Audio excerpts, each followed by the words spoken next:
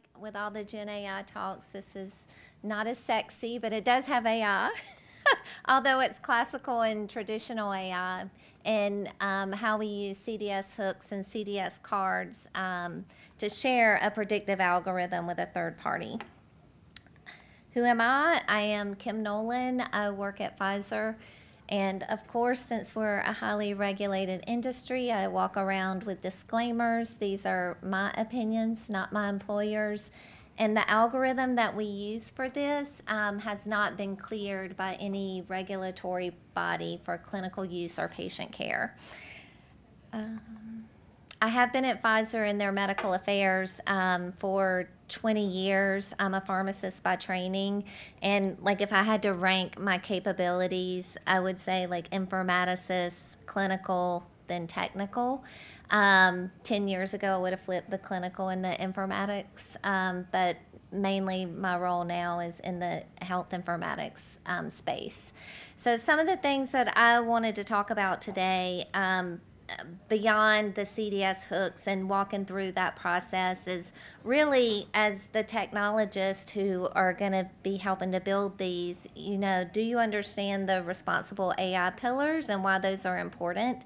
And then go into the overall architecture and process involved in sharing an algorithm with a third party, and then walk through that CDS hook specification um, will illustrate um, how the decision support service displayed in the electronic health record and then have a summary and question and answers. Um, for this particular project, we did have a machine learning algorithm.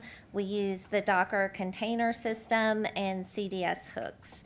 Um, for this algorithm, just to touch on the responsible AI pillars, um, they had done both internal and external validity. They had used Optum to train and validate, and then they also um, used IQVIA. I think I got that switched, it was the other way around, um, to do it. But then when we sent the algorithm out for independent review, they were like your ground truth is not good enough. And so that's why like at this point our algorithm is not usable for um, external use but with any algorithms, these responsible AI pillars are very important. Like with transparency, you can fully read the methodologies that they use to develop the algorithm, that it's explainable and interpretable. It doesn't necessarily mean that you know every component of how they get to from the input to the output, but if it says I'm predicting hypertension, you understand that they have a cardiomyopathy or they have some, you know, you understand those um, variables. Fairness and bias. And then, probably one of the most important is, you know, the evaluation of the clinical utility. How does it improve that health outcome? And did you test it in the workflow? Um, this is uh, the conceptual diagram, um, architectural design of delivering our AI model to the third party. If you look, there's three domains. Um, there's the Pfizer in infrastructure where we containerize the algorithm. Then we ship the algorithm to the third party. And if you look in the middle pink where you see HSP, that was our CDS service and then the care orchestrator was the CDS client. So all of the algorithm information was hosted on the third party so that we didn't um, get any patient data because that's super important when you're like trying to share something with somebody else and not having to get into um, patient privacy issues with the with the developer of the algorithm from our perspective, we wanted it, the design to be manageable and scalable. We also know that um, for different users of an algorithm, they're going to have different levels of IT maturity. Um, for the patient privacy reasons, we wanted it to be hosted on um, the host platform. You want to be able to protect your IP and you want to be able to manage a large number of applications. And then you also need a way to track um, any drift that happens with the model long term. And then the end user is how you would activate the system. So I'm going to go into that middle section now.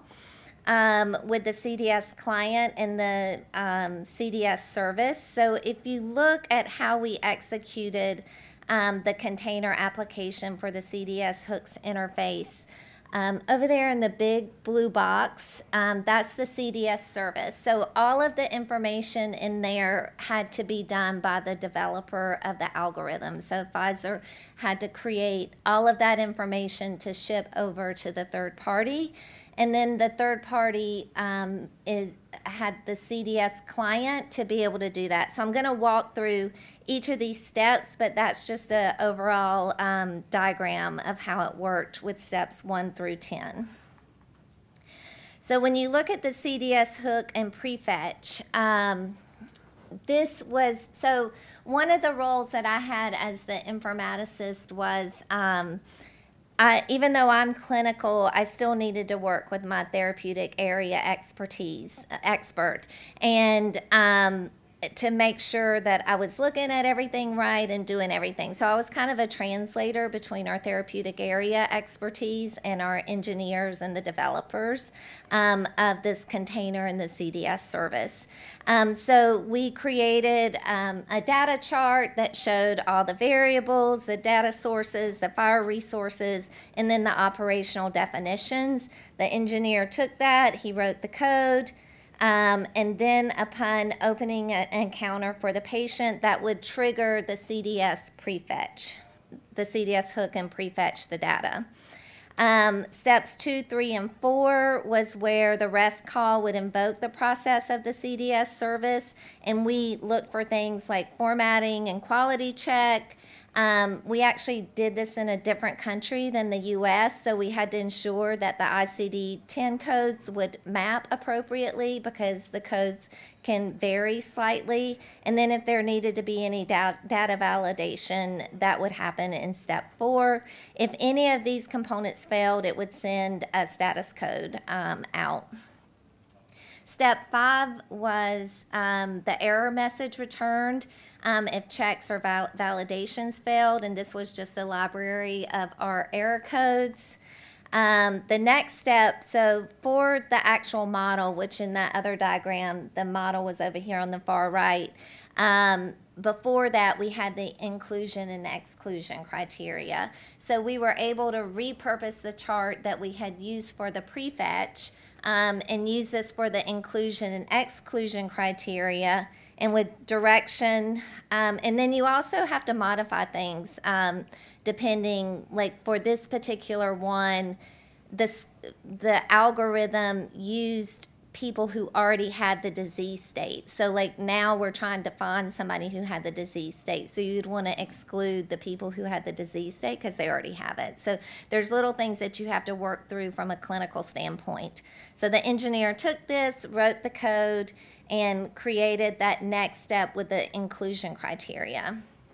We created six um, CDS cards um, for this particular one. Again, we had to work with our therapeutic area. I helped translate that into the specs. Um, for the CDS cards, we worked with um, a user um, interface person for um, beautification and then the card put out.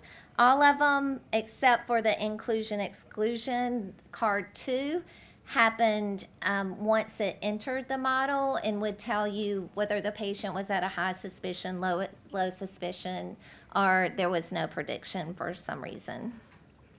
This is just a display of this particular um, interface. It was with cardiologists of what they would look, what it would look like, and this is synthetic data, so that's not a real patient um, uh, for the user. And then you can see here how the card rendered on the far your far right. So in summary, this pilot demonstrates an innovative architectural solution for deli delivering machine learning models to healthcare professionals. It kind of it showed our pattern communication patterns based on CDS hooks, um, CDS cards, and REST calls. Um, we preserve patient data privacy because it was hosted on the third party, and um, we also uh, thought, think that this pilot could help inform how to share other ML models to HCPs.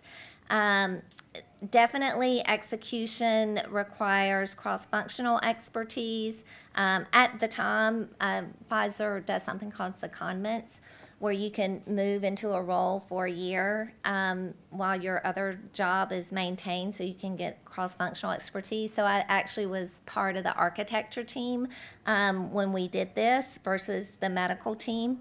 Um, and so we had the clinical informatics, the medical architect, engineering, and development. And then with all of this, again, just as a reminder to remember those responsible AI pillars. I wanted to thank George and Reid because they were very helpful. George was the main architect, and Reid was our engineer that was on the project. And um, we all three worked together through the project and with this presentation. This is my contact, and then I will open it up for questions.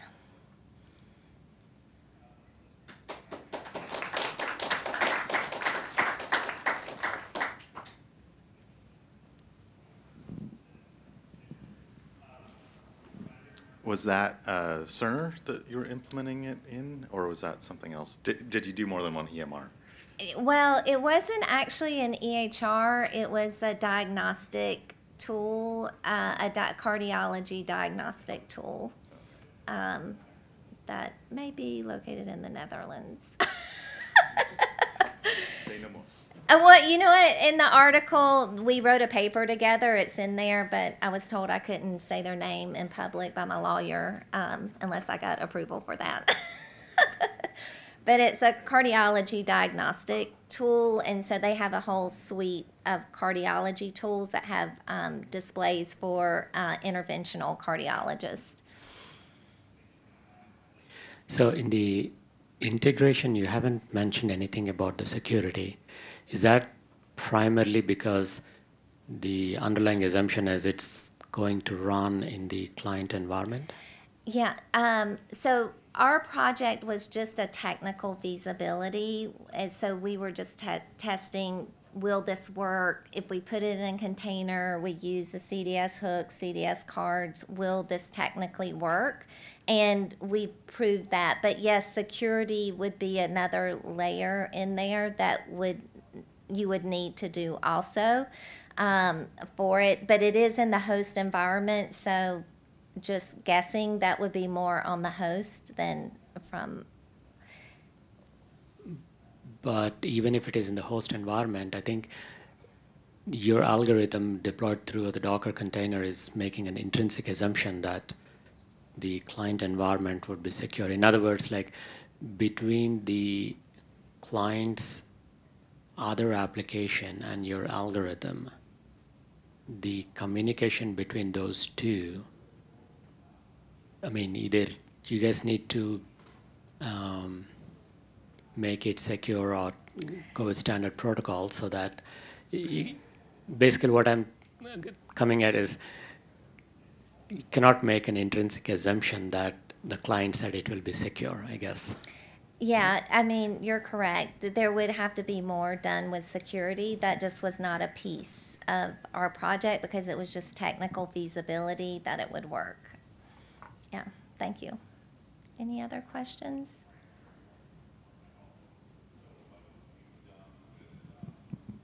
And thank you very much, Thank Kimberly. you. Thank you.